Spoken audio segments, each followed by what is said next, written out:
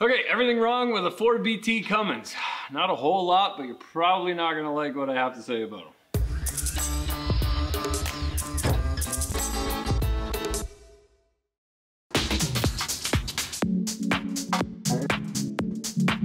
Right, so this thing weighs 750 pounds and puts out 105 horsepower and 265 foot-pounds of torque stock. Now, this one has a fuel pin in it and a governor spring in it, a little bit of work to the AFC on the top of the pump. So it woke it up a little bit, but that's about it. The HE351W, I think is what that turbo is, let it spool a little quicker at the bottom end, which made it a lot more uh, drivable. But for the price of them, that's not much. Uh, rebuilt one I'm seeing online for over $10,000. So I had this engine in a 2004 Tahoe for my wife. I put about 80,000 kilometers on it. I'm super happy that I did it because it cut my fuel consumption in about half over the 5.3. Since we started the channel though, um, our community has grown a lot more and my eyes have been open to a lot other different engines that would probably be better suited. Problem is in North America, we're so limited to the amount of diesels that were actually put in on-road vehicles. I'm happy that we did it. We started the channel almost with this engine. Not to say that if we come across another 4BT, I wouldn't buy it and maybe do something with it, but it's not the holy grail that you think it is. That out of the way, it is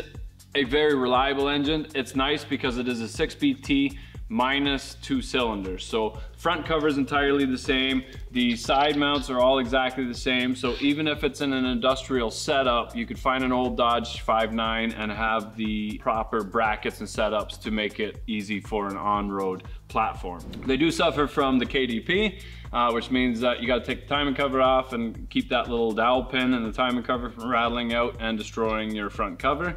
They'll probably leak over amount of time. They do vibrate more than the 5.9, so this is actually a balancer off of an 8.3. It's a little bigger, a little bit more mass, and it depends on what you have behind it, whether it's automatic or manual. If it's an automatic, the torque converter and the fluid inside the torque converter helps a little bit, as does a heavy flywheel if you're using a clutch.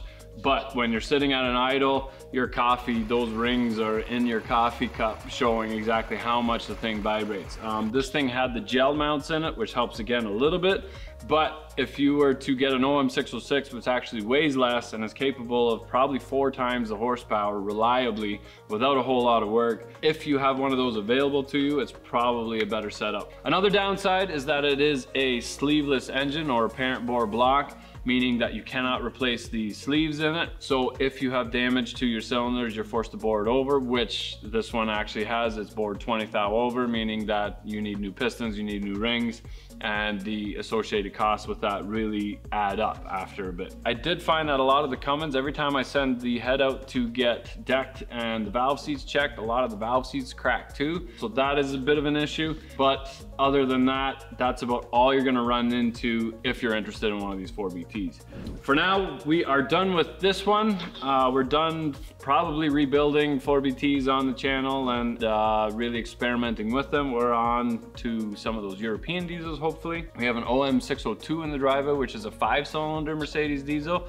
It also rattles like crazy, but I, it is even better on fuel than this thing is. You think your fuel gauge is broken, but it's just running on the fumes from the car in front of you. Okay, so the nice thing with the 4BT and the 6BT sharing basically everything the same minus the two cylinders is that you can take an exhaust manifold from a 5.9 and modify it to make it fit your 4BT. So if you get the industrial 6BT, the turbo hangs straight down, you can flip that over upside down because the exhaust manifold is ambidextrous and you can have your turbo sticking up high if that's the look that you're going for. If you're going for a Dodge Ram exhaust manifold, you can have it pointing on an angle to avoid your oil filter. Same way, your intake plate, you can take the 5.9 and shrink it down. All you have to do is weld the sides shut and then get it decked again. And that'll allow you to put the intake heater or the grid heater for easy starting in the winter from the 5.9 to the 4BT because as far as I know, the 4BTs never had the um, the intake heater. The same way you can take the pump off of whatever was on the 4BT. If it was an air compressor or, or just a blank spot, you can take the pump and the vacuum pump if you wanted off of the Dodge 5.9 and stick it on the side. Originally, I always told people that you can't use the off-road 4BT in an on-road application because the governor is set up different. Uh, when we went on a road trip, we met a guy who put the 4BT into an old rat rod and he originally had an industrial P-pump engine on it. He said he had no problem shifting and grabbing the next gear. The only difference between the two pumps is the way the governor is set up. So he said when you would go under a load, it would automatically rev up to try and keep that same RPM.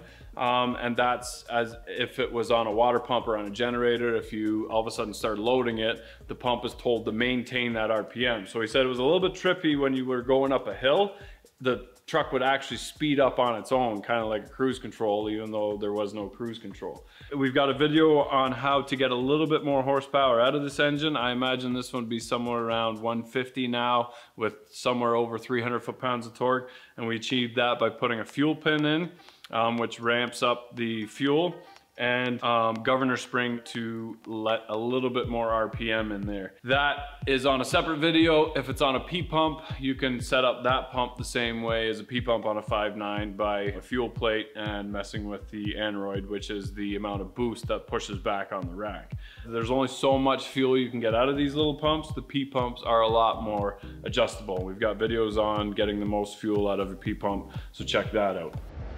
One other really nice thing about the 4BT, if you are gonna use it in a conversion, is that these oil pans are actually ambidextrous. So you can have a front sump or a back sump. Generally they come as a rear sump, but you can modify the pickup tube um, because the pickup actually comes from the front of the pan. So um, there's actually a spot for your dipstick on the other side for the front as well. So that, that's kind of handy, um, avoiding your axle or clearances, whatever that might be, if you're gonna throw this in something. The biggest problem that I see with the 4BT Cummins is that they are overrated. For the amount of horsepower that they put out and the weight that they are, they get this glorious name that they probably don't deserve. Something comparable would be like a 4BD1T on Isuzu engine, which is a six cylinder. A little bit less torque, but a little bit more horsepower. Weighs about the same, but is a sleeved engine, and you could probably find that a lot cheaper than the 4BT just because they're not as common or don't have the name that the Cummins does.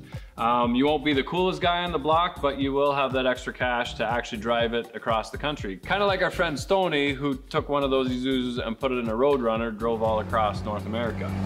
There's other options, and unfortunately we're very limited in North America by the amount of diesels available to us on an on-road platform. If you compare this to a European diesel, um, they must be watching the channel and just laughing, going a 750 pound engine that puts out 105 horsepower, sounds like a tractor and vibrates the fillings out of your teeth. You guys are nuts.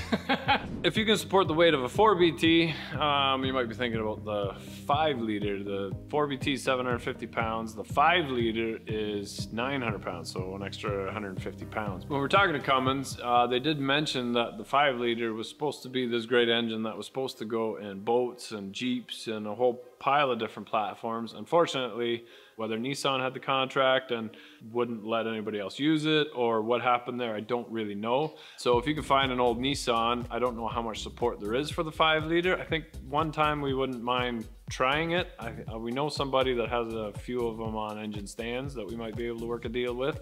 Um, but it is an option. I just worried about the aftermarket support for it now that Nissan has decided not to do anything. When we walked through the Cummins plant, it was pretty well dead. There was a couple going down the row, but they said that they were only making two or three of them a week. A Cummins is required to supply parts and support that platform for X amount of years after they've been released, but that will come to an end sooner than later too.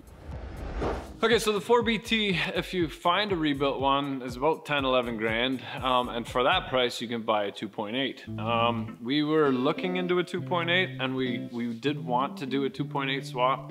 But uh, with the dollar the way it is and the issue with a $10,000 engine is that we didn't really have a good enough platform to justify a $10,000 engine. Um, so we kind of put it on the wayside, on the, on the back burner for now. I don't think we'll be doing one in the near future. Uh, from what I've heard is that they're decent engines. Uh, parts are hard to get. So we met uh, Alex from Billet Performance Manufacturing at SEMA one year, and he's actually in the other end of Canada in BC, but he makes uh, adapters for pretty well any engine that you need. So whether it is the 4BT or the Isuzu 4BDT or whatever your little heart uh, can imagine, Um, he can make adapters to make it work. Most of the bell housings and that are online now. Um, so we'll be getting some adapters from him as well. He also made the wiring harness for the Duramax.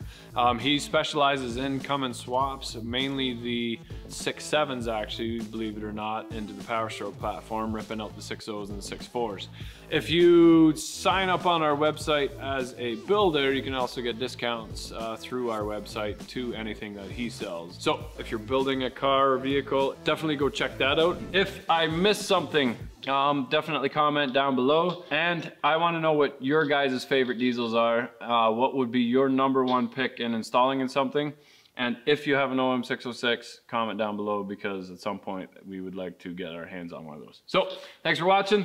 Um, remember, check out the entire Tahoe series. It's interesting watch. Um, Short-lived for the Tahoe, unfortunately, because we live in the Salt Belt. Don't buy your vehicles from the Rust Belt. Go down south, enjoy the road trip, and uh, yeah, build it, drive it, enjoy. Here we go.